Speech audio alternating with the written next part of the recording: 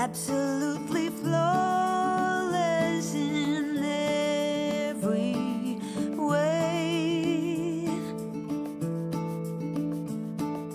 That's the day I'm having right now. I've been trying to believe.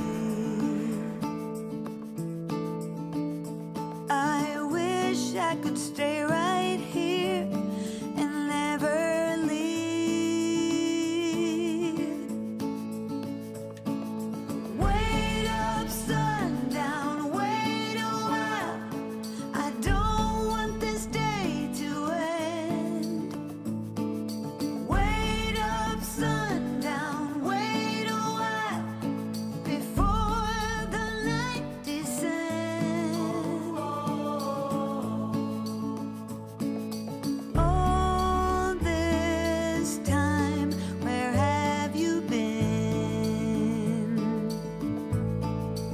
I thought I had searched both without and within.